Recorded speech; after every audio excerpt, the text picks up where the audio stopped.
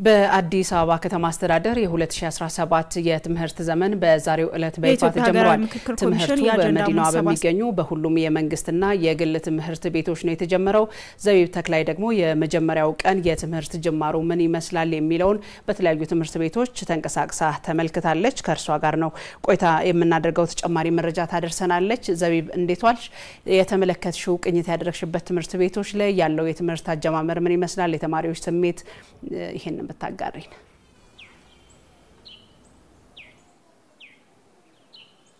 አመሰግናለሁ አዳነች። እንግዲህ 2017ን ከጀመርን ስድስት ቀናትን አስቆጥረናል። መስከረም ሲመጣ 2017 እንዲሁም ደግሞ አዲስ ዓመት ሲመጣ ደግሞ ተያይዞ የሚመጣው የትምህርት መጀመር ነውና ዛሬም እንግዲህ ዕለተ ሰኞ ላይ አብዛኞቹ ትምህርት ቤቶች በተለይ አዲስ አበባ ላይ የሚገኙ ትምህርት ቤቶች ትምህርት ጀምረዋል። እኔም ተዘዋውሬ ቅኝት ለማድረግ ሞክሬ ነበረ። አንዱ ቅኝት ካደረግኩባቸው አካባቢዎች ትምህርት ቤቶች ላይ አንዱ የሆነው የወይዘሮ ቀለመወርቅ ጥሩነህ አጠቃላይ ሁለተኛ ደረጃ ትምህርት ቤት ነው አሁን የሚገኝበት ማለት ነው። እንግዲህ እዚህ ትምህርት ቤት ላይም ዛሬ በጠዋት ተማሪዎች መጥተው ትምህርት ባይሆን የተለያዩ ውይይቶች ያካሂዱባቸው ሁኔታዎች ነው የነበሩት። ዛሬ ጀምረዋል ማለት ነው። በጠዋት የሰንደቅ ዓላማን የመስቀል ስራ ተሰርቷል። ከዛም ብሔራዊ መዝሙር ዘምረው ችቦ ለኩሰው ነው ወደ ውይይታቸው የገቡት። እንግዲህ ውይይቱ ቀጣዩን ዓመት እንዴት እንደሚያስቀጥሉት እንዲሁም ደግሞ በትምህርት ቤት ግቢ ውስጥ የሚያደርጓቸውን መተዳደሪያ ደንቦችን የተማሪዎች መተዳደሪያ ደንቦችን በተመለከተ ውይይት ሲያደርጉ ነበረ። የተለያዩ ስነ ምግባር ተኮር ውይይቶች ናቸው ማለት ነው።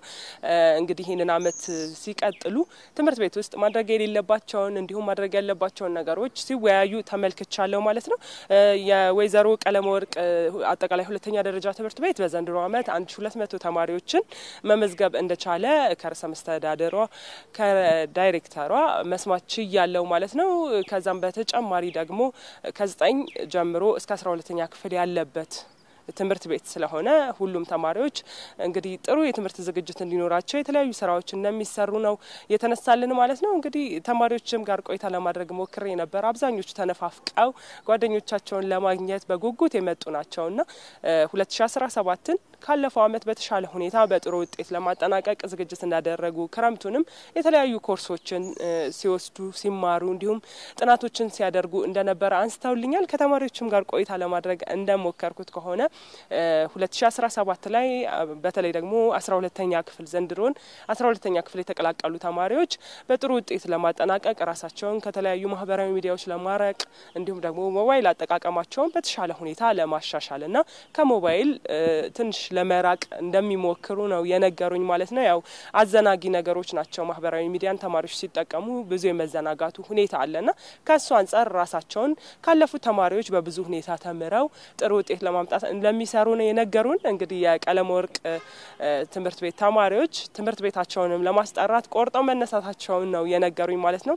ያው ከመቶ ሀምሳ ማምጣት አያቅተንም የሚል በጣም ቁርጠኛ የሆነ አቋም የያዘ መልእክት ነው የነገሩኝ ማለት ነው። እንግዲህ ትምህርት ቤቱን በበኩሉ መምህራኖችም የተለያዩ ዝግጅቶችን እንደሚያደርጉ በተለይ አስራ ሁለተኛ ክፍሎችን በተለየ ሁኔታ ትኩረት ሰጥተው ለማስተማር እንዲሁም ደግሞ አብዛኛው ጊዜ እስካሁን በነበረው አካሄድ አስራ ሁለተኛ ክፍል ተማሪዎች ሲሆኑ ከየካቲት በኋላ ትምህርት ቤት የመገኘት እድላቸው በጣም ጠባብ ነውና ያም እንዲዘናጉ ሲያደርጋቸው ቆይተዋል የሚል ሀሳብ ተነስቷል። ስለዚህ በዚህኛው ዓመት ያ ነገር ቀርቶ ሙሉ ለሙሉ የትምህርት ጊዜያቸውን እዚሁ እንዲያሳልፉ በማድረግ ትምህርታቸውን በአግባቡ እንዲከታተሉና ጥሩ ውጤት እንዲያመጡ ለማድረግ መምህራኖችም የተቻላቸውን ጥረት እንደሚያደርጉ አንስተውልናል። እንደ ግን ያው ትምህርት ቤቱ ከዘጠኝ እስከ አስራ ሁለት ያለው ስለሆነ በዘንድሮ በተለየ ሁኔታ የምዝገባ ሂደቱም በጥሩ ሁኔታ እንደተካሄደ አንስተውልናል ዳይሬክተሯ። ያ ማለት ከዚህ በፊት በወረቀት ነበረ ምዝገባ የሚካሄደው።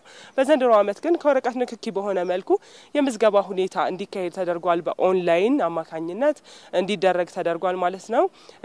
እንደዚህ አይነት ሀሳብ አንስተውልናል። ከዛም በተጨማሪ በኦንላይን መሆኑ ተማሪዎች ሳይንገላቱ ቤታቸውም ሆነው እንዲመዘገቡና እዚህ መጥተው ማረጋገጫ ብቻ እንዲወስዱ የተደረገበት ሁኔታ ብዙ ስራዎችን እንዳቀለለ ነው የተነሳልን።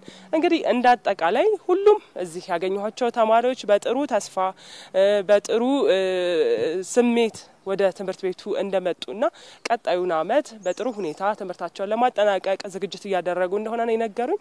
ያለው ድባብ ይህንን ይመስላል።